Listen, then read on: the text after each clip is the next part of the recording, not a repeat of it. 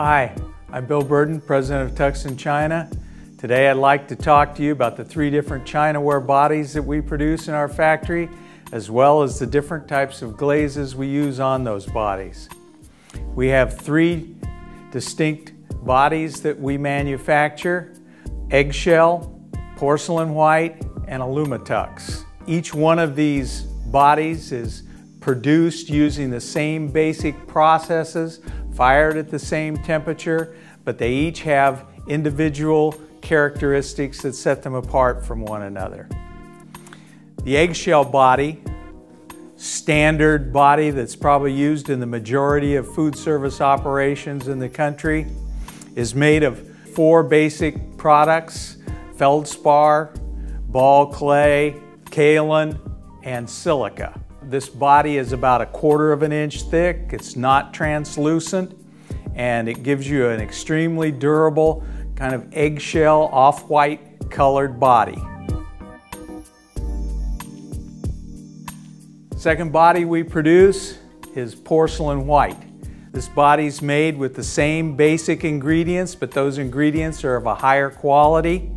And so they give you a much whiter product because of that higher quality of product, you're able to make a thinner, lighter body, but still have the same durability characteristics as thicker bodies. The last body we produce is what we call our Alumi-Tux. This is a high alumina body. In order to get a high alumina body, what we do is we remove some of the clay from the formula and we put in pure alumina oxide. Alumina oxide is a raw material that's found naturally occurring in most good china clays, but by adding additional uh, alumina oxide into the body, you're able to produce a thinner body that's extremely durable.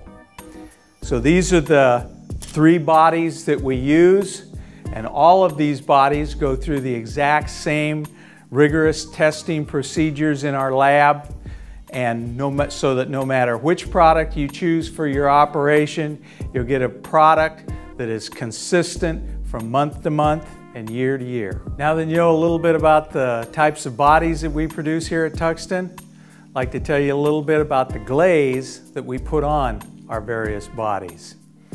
Uh, glazes are made basically silica sand and when that is fired to high temperature, it turns into a type of glass. And that glass is what gives Chinaware its beautiful shine and allows you to showcase your food creations in a beautiful way. It also is non-porous, so from a sanitary standpoint, it's what you want in a food service operation. How glazes are made is they're basically powders and you'll take those powders, mix them with water, grind them and blend them till they get to a homogeneous point. Then that is applied to the unfired ceramic body and then they're taken and dried again and that wet glaze now turns back into a powder again and then you put it into the kiln and it's fired at around 2300 degrees and as it goes up to that high temperature the glaze melts and becomes molten glass and solidifies to give you your china body. And once that happens, the glaze bonds with the ceramic body and it will never ever come off or apart. What I'd like to show you now is some examples of the different types of glazes that we manufacture uh, from our standard clear glaze, which goes on all three of these bodies, the eggshell, the porcelain white, and the uh, Alumi-Tux. This is the same basic clear glaze, but it looks different because of the color of the body, which we talked about a little while ago.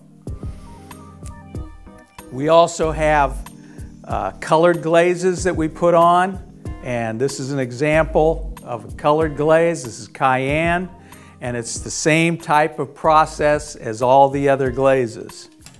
We also have some new glazes as we're just starting to work with. These are our artisan glazes or reactive glazes. And so this is some new product that we're just coming out with this fall. Most importantly, all of our glazes are 100% lead free and pass all state and federal guidelines. So you never have to worry about any problems with your Tuxton china. As always, thank you for watching. We hope you found this information useful. And if you'd like to see our entire library of Food Service 101 videos, check out our website and YouTube channel.